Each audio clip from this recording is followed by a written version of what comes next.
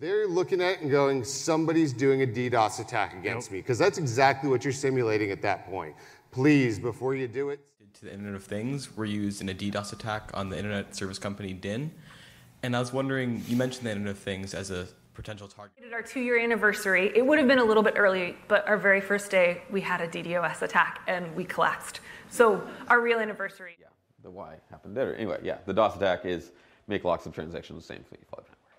Okay, so this seems simple, right?